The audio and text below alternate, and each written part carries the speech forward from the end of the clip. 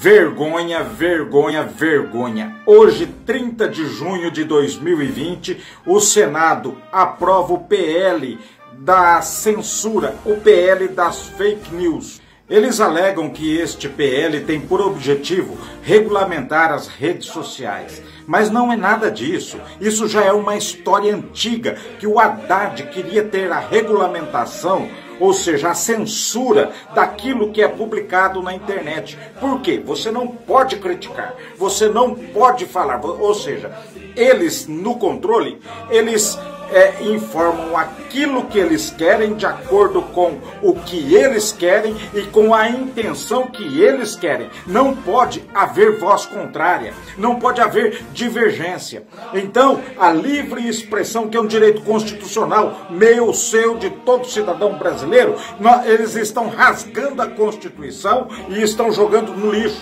Esse projeto, que é de autoria do senador Alessandro Vieira, e que teve como relator o senador Ângelo Coronel. Aliás, esse Ângelo Coronel tem muito a explicar com seus gastos excessivos, gastos com despesas familiares, mas pago com cartão corporativo, dinheiro público, dinheiro que nós pagamos impostos. Não é dinheiro dele.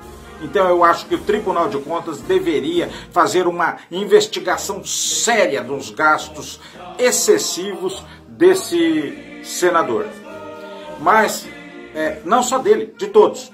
O que eu chamo a atenção aqui é com relação aos 44 senadores que votaram a favor desse projeto, da aprovação desse projeto. Esses 44 senadores são da esquerda, quase que na sua totalidade, ou um ou outro ali, mas que são alinhados à esquerda. Então ele é um projeto de lei da esquerda, com interesses da esquerda.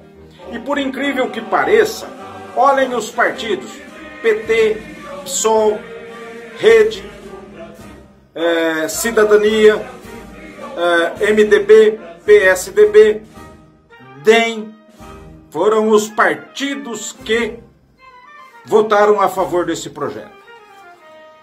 E, na sua grande maioria, tirando ali com exceção de uns três deputados, que é da região sul e sudeste, Paulo Paim, teve mais dois aqui da, do Espírito Santo e tal, o restante é tudo norte e nordeste, por incrível que pareça.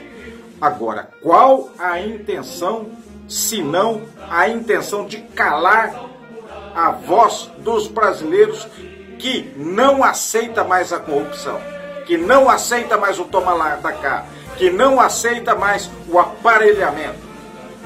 Me diga, qual é a intenção se não a de calar a voz dos cidadãos brasileiros?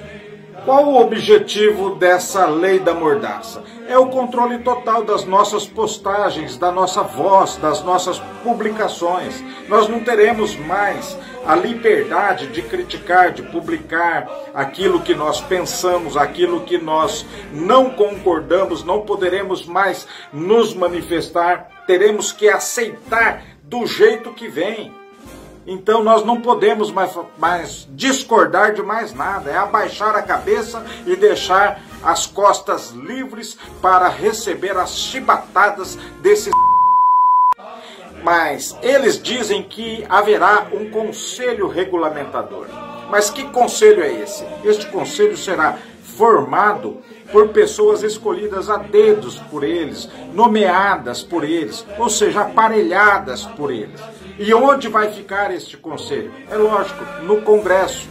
Então, ou seja, toda a nossa vida, nós estaremos sendo rastreados, inclusive em postagens é, familiares. Não há mais segredo em nada. Todo segredo será quebrado. Isso é coisa de país comunista, ditadura, como é na China esse controle. Lá na China se controla tudo. Os chineses não têm liberdade de expressão, não pode é, falar aquilo que pensa, não pode escrever aquilo que pensa, não pode questionar o governo chinês. Assim é na Cuba, assim é aqui na Venezuela com Maduro. Todo país comunista é assim, Coreia do Norte, e eles querem fazer isso aqui no Brasil.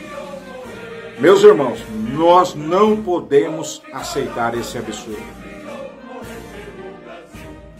Brasil, ame-o ou deixe-o.